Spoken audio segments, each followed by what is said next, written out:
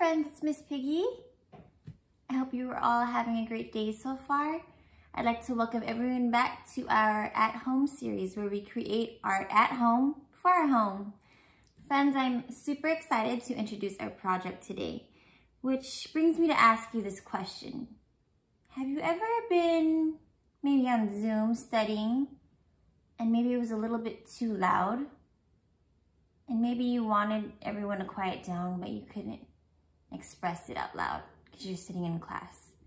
So friends, today our project is going to be creating a do not disturb sign or a quiet please sign or shh, I'm studying sign. So it's up to you today. But friends, let's get started with our values. Respect yourself, respect your own art, and respect the space. Let's find out what we need today. So, you'll need a paper bag or newspaper because we're to get a little bit messy, just a little bit. A marker.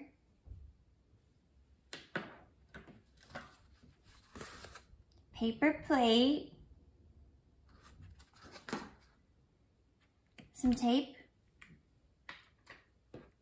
Some yarn or string, if you have any.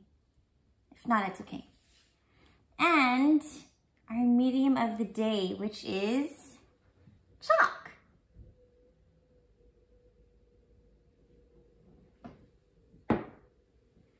Which introduces, uh, which brings me to the technique of the day, which is blending.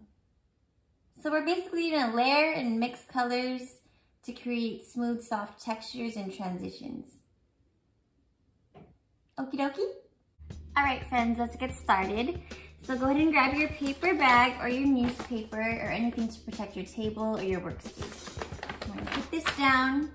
I'm gonna grab your paper plate. I don't know if anyone remembers that we did our, our whole art show on paper plates last time for our Garden of Peace series. So I'm excited to switch it up this time around using the same canvas. So on this paper plate, we're gonna create our own sign. So Think of a message that you'd like to represent on your canvas that communicates that you might need maybe people in your home to just quiet down when you're studying or you're in your Zoom classes or anything like that. So you have your paper plate and let's grab our marker and think of a message for a second and see what you might want to say at my grandma's house where I typically make videos or I'm in different meetings through Zoom, we typically just put a post-it note on our door that says like zooming live. So then either my grandma knows to wait or not to open the door or maybe my grandma will know to turn down her TV because she likes to turn that up pretty loud when she watches her shows. So think of a sign or think of your message that you might want to say. And it could be fun for you. I think I'm gonna put shh, I like that sound like. And then maybe I'll say quiet please. Yeah, I'm gonna put shh, quiet please. So just think of what you want to say. And before you start writing, take a look at your canvas and see how you want to fit your words. You could play with the sizing of your letters and your style. Feel free to incorporate any kind of lettering or hand style that you would like. Whether it's bubble letters or cursive or print, or you could even mix it up. So I'm gonna start my writing. And I'm gonna put like lots of S's. So it's like a long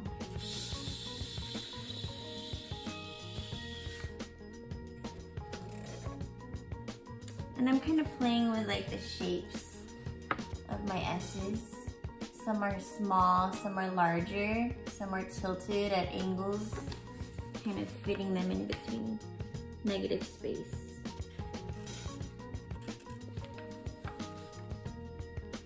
And I'm gonna play with my H's and mixing them up with uppercase and lowercase just for fun.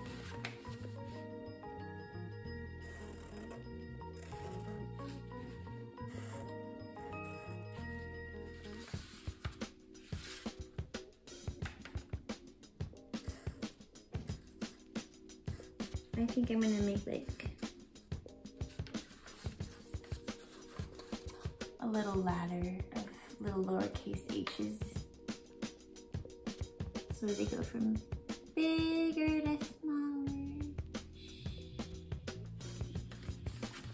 And I'm gonna add dots to kind of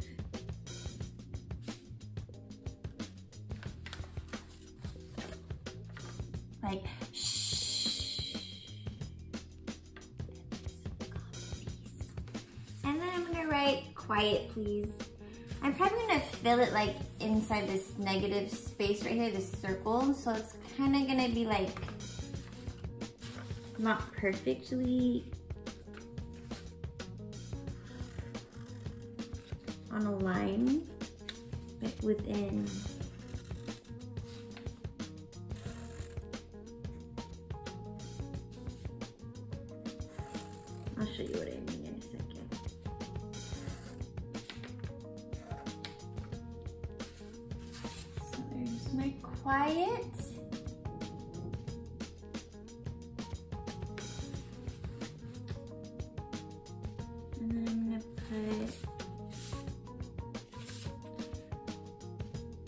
I'm gonna do something a little interesting. Just kind of like an oxymoron. Meaning like you have two things that contrast each other. So quiet, which is quiet, silent, but I put an exclamation mark. Cause like I really mean it like quiet, but you can't be too loud. so I'm just playing around with the, um, the exclamation mark. Polite, I'm gonna put please. Cause it's okay to need something and ask with manners. I'm sure your family members would appreciate that as well.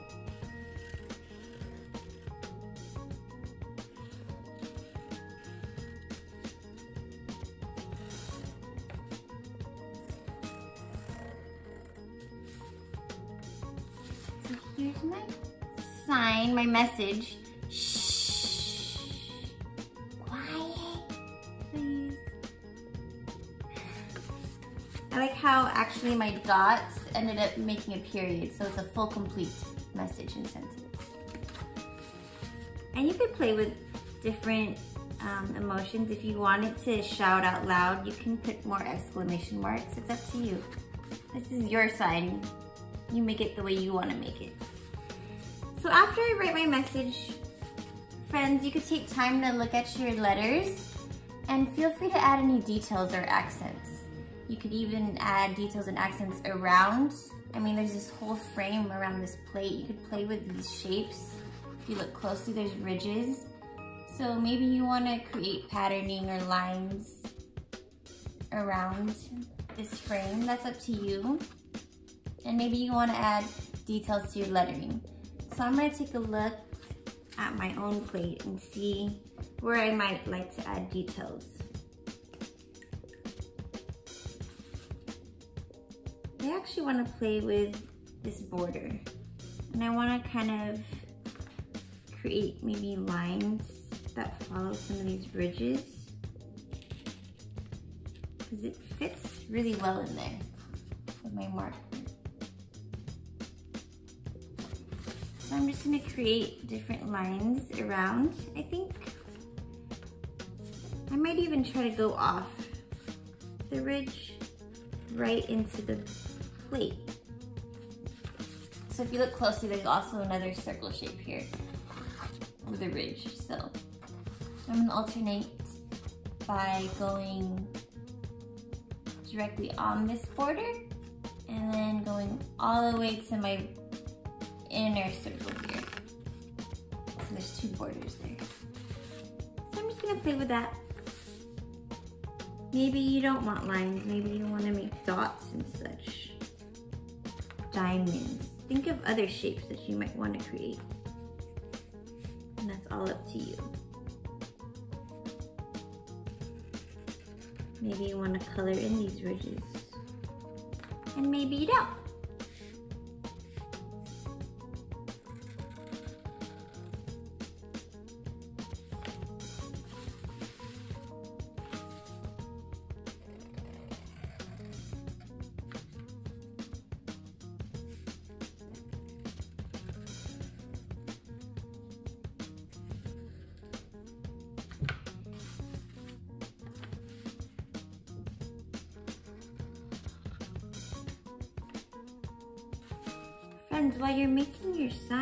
Think about where you want to display it. So think about the places where you need that quiet space. Maybe it's your room, so you could hang it on your door. Maybe you want to just tape it right on.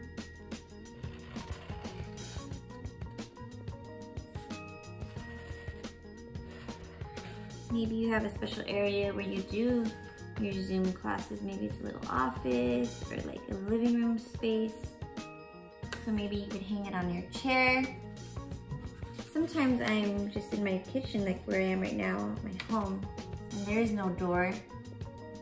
So maybe I could hang it on my face. Just kidding. Or maybe I can make a necklace like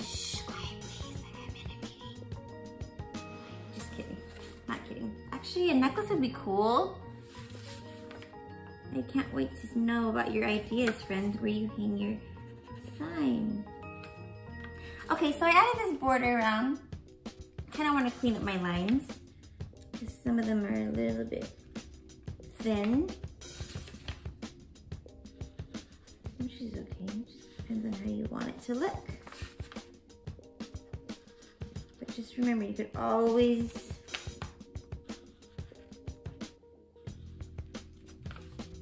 refine or switch up. We talk about that sometimes.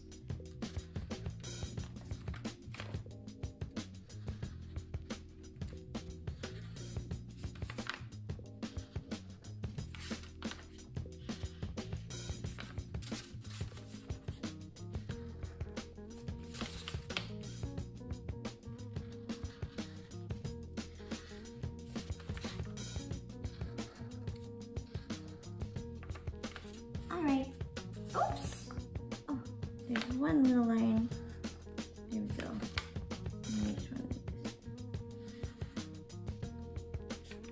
Cool.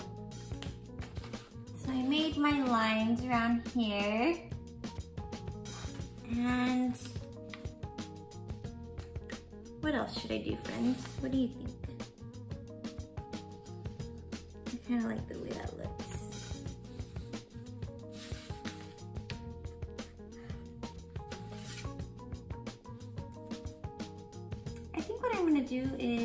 I'm gonna actually look closer to my letters. I'm gonna kind of see where I wanna add some accents. So I might add like different patterns within shapes. I like this exclamation mark It's kind of empty right now. So I think I'm gonna add some lines in there.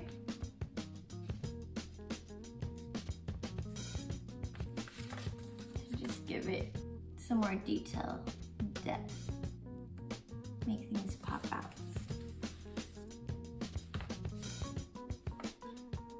For me, I think I'm gonna add some hearts here and there.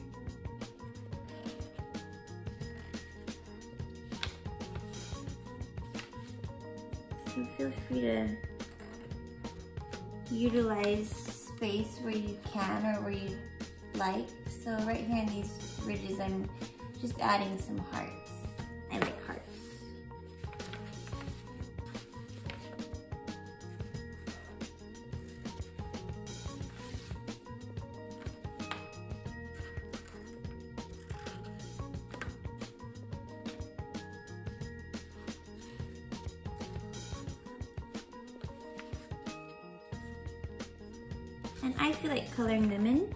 Marker.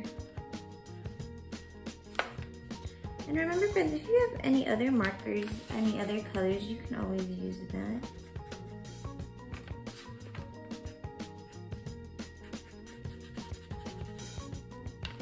You can also utilize some of the past techniques that we've been using for the past month. Kind of build on that and explore and expand. I'm actually gonna color in this circle, I think The bottom of my exclamation mark. Maybe one more heart. What do you think? I think I like where it's at. Maybe one more heart.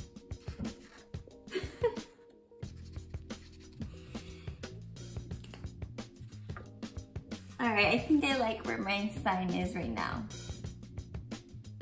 So friends, once you finalize and refine your message and your patterning and all that jazz, we will get to our medium of the day, which is chalk. So, with your chalk, friends, this is where we get to our technique of the day. So, think about what colors you like, what colors you might want to explore with, and before you get started, you could take a look at your plate and see where you wanna draw shapes or layer.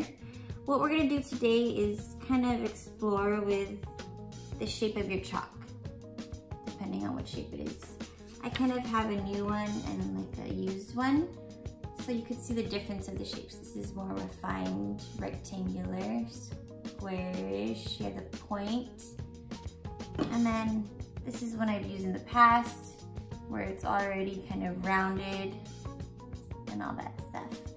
So, depending on what shapes you wanna, um, what shapes you wanna create onto your plate, maybe you wanna outline some of your shapes, maybe you wanna underline certain words, that's up to you. So if you wanna create more detail, for example, underlining, go ahead and use your tip of your chalk for more details. And then if you're doing general coloring or just filling in, it's best to use the side of your chalk. So it just depends. General filling and coloring, use the side. For any details or like small um, lines or shapes, use your tip of your chalk. And here we get to play with layering or mixing colors as well. So up to you on how you'd like to do that. I'm kind of feeling like I want to play with this wave of letters. So I'm probably going to fill in with my purple and pink, or magenta, that's more magenta chalk. So I'm just going to follow these lines and make wavy random patterns. So using the side of my chalk, I'm just going to start with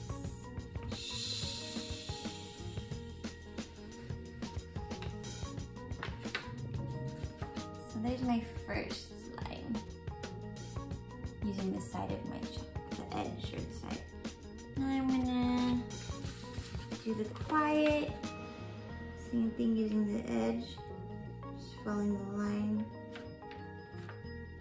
I chose not to touch the exclamation mark with my chalk yet, because I want to see what I want to do that later. And I'm gonna take another layer. Oh, I'm gonna use pink.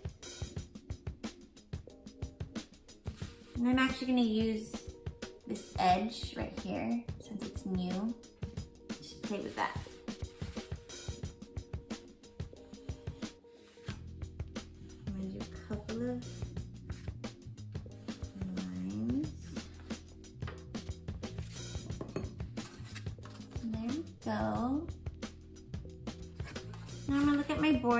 See what I wanna do. And I think I'm gonna play with this green chalk.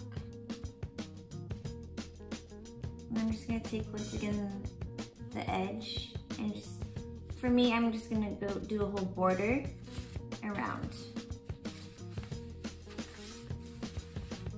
So I'm kind of holding my plate while I'm dragging my chalk across so it doesn't move.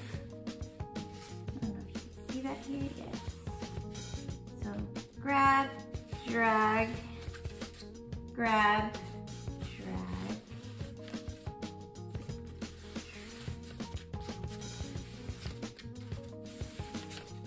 And you could do like several layers.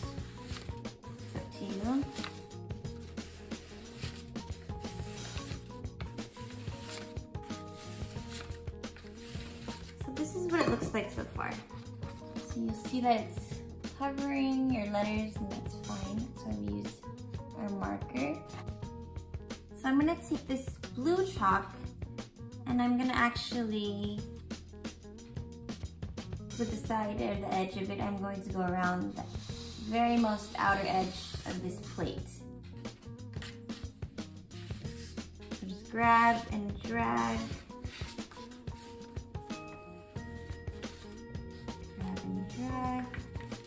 Sure you press down to get all the chalk in there. So here it goes. Now we're ready to blend. So friends, this is where we might get a little messy. Feel free to um, roll up your sleeves if you need to.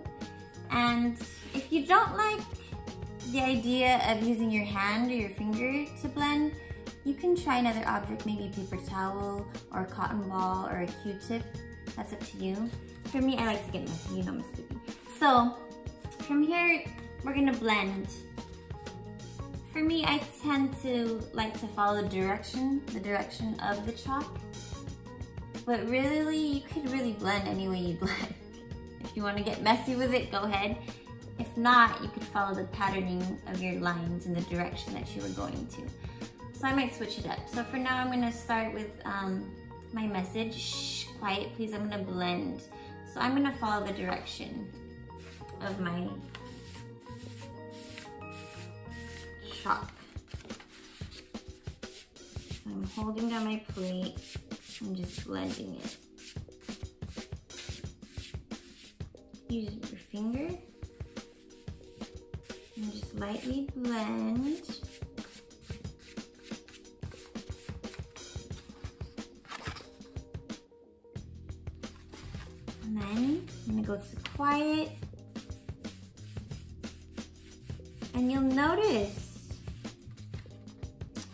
That the purple and the magenta are starting to blend and mix together. So you just slowly blend. And they don't have to touch either. You could leave a little white space. For me, what I just ended up doing is actually filling in my exclamation mark. And I left a little bit of white between the purple.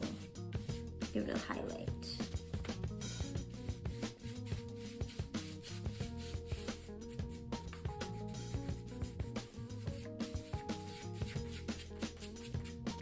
Could try blending down. And you'll notice a gradient from dark to light. And that's just from blending down. Now I'm gonna blend my please.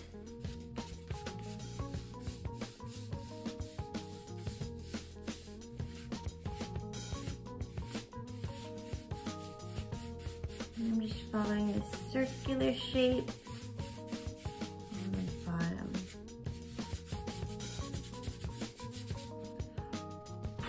give it a little blow.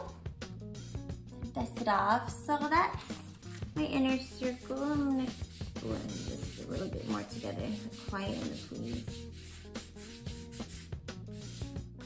All right, now I'm gonna move to my outer border and just take my hand or my finger, make sure you grab your plate and blend. I'm going in a circle. Once again, following the shape of the chalk.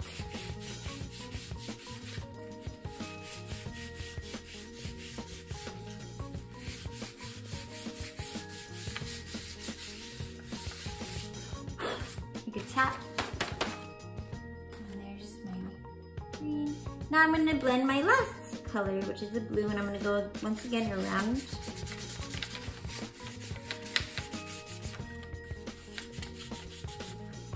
if you have lines that you had detail with, you can use the um, your tip of your finger and just like follow that line as well to give it a really clean edge and blend. If not, you can use your hand and just blend. Mix. So this is actually mixing the two colors, green with the blue.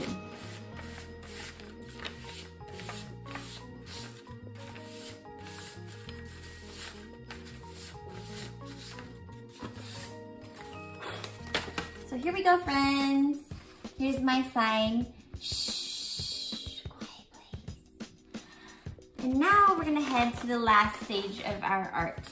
So here, you can either grab your yarn and your tape so that you can create a little handle. What I'm gonna do is I'm gonna take the two ends of my yarn and kind of pinch it together so that you have this Can you see that? So just hold that together. Then you're gonna flip your plate over, maybe around the middle. You're just gonna put your yarn down,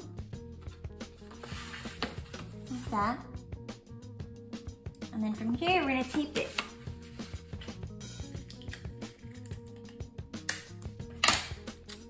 If you don't have yarn, you can always just tape the sign directly onto the door when you need it.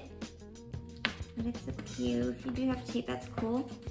And from here, friends, you have your sign.